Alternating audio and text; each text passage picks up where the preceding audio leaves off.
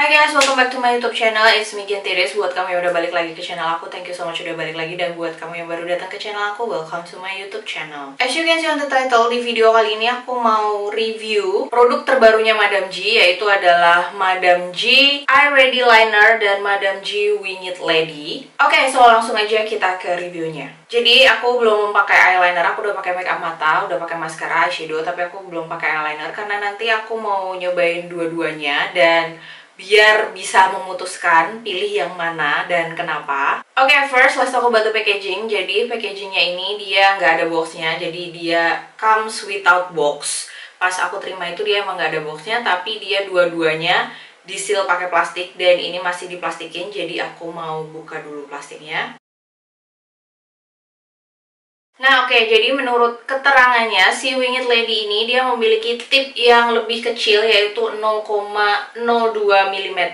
Sedangkan yang iReady ini dia memiliki tip yang lebih besar yaitu adalah 0,05 mm.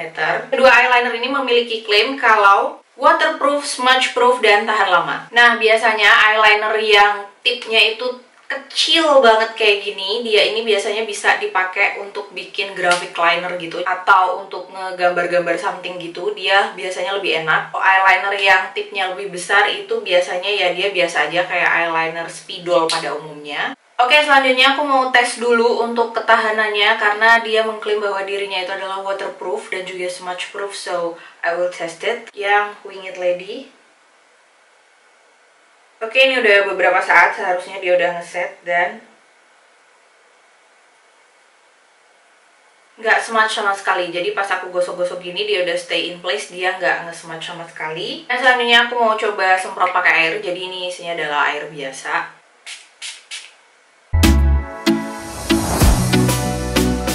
It's a little bit gone.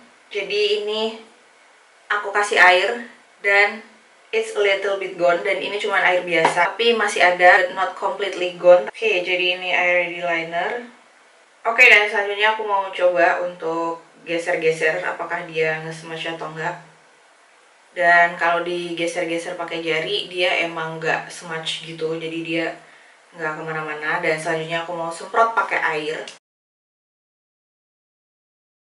Dan aku mau geser-geser lagi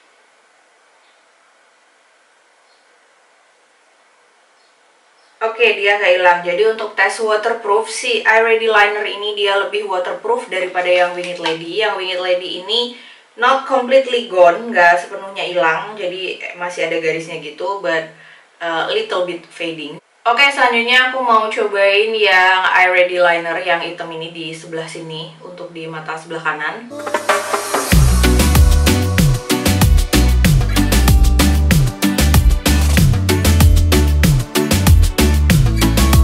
Quite nice. Ini mudah untuk diaplikasikan dan juga mudah banget untuk dipakai. Jadi aku langsung kayak bisa bikin wing eyeliner dalam waktu singkat banget. Dan di atas eyeshadow this eyeliner is perform very well. Jadi dia garisnya masih tegas banget. Walaupun uh, dipakai di atas eyeshadow dia garisnya masih keren gitu. Dan eyeliner yang eye ready liner ini dia hasilnya matte. So I love it. Oke, selanjutnya untuk yang di mata sebelah kiri, aku mau pakai yang Winged Lady.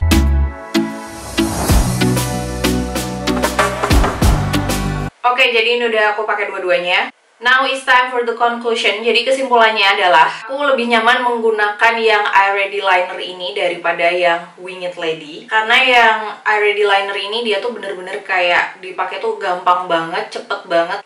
Terus untuk waterproof testnya dia approve, jadi ini bener-bener waterproof. Hasilnya tuh matte finish, hasilnya keren dan aku cukup gampang pakai ini. Ini gampang banget dipakainya bener-bener kayak tinggal cekrep gitu, pokoknya gampang banget. Nah, sedangkan yang Winged Lady ini aku kayak agak susah makainya. Sebenarnya nggak susah banget, sama aja untuk tingkat kesulitannya. Tapi ini tuh karena garisnya tuh kecil banget, tipis banget, jadi sampai kelihatan jadi eyeliner itu aku kayak harus ngulang beberapa kali gitu di beberapa area. Dan kalau misalnya aku bikin eyeliner yang tipe kayak gini dia turn out to be nggak rata jadi kayak harus beberapa kali gitu baru bisa rata. Nah ini ada bagian yang belum rata ini aku ratain dulu.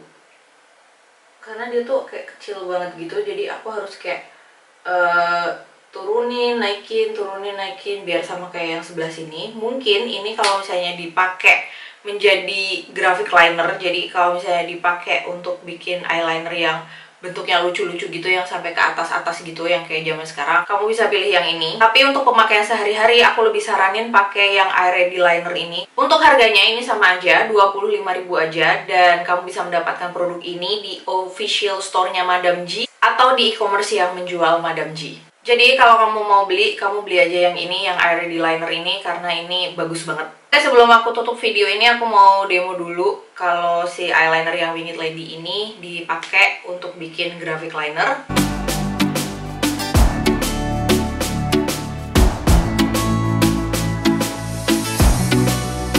Nah, jadi yang Winged Lady ini, ini gampang banget kalau kamu mau bikin graphic liner, kamu mau bikin eyeliner yang dibentuk-bentuk gitu yang ke samping kanan, ke samping kiri. Untuk face art ini cocok banget, tapi kalau untuk daily aku lebih saranin pakai yang eye ready liner. Oke, segitu aja review dari aku. Semoga video kali ini membantu. Finally you reach the end of the video. Kalau kamu suka sama channel ini, jangan lupa untuk hit the subscribe button dan juga pencet loncengnya.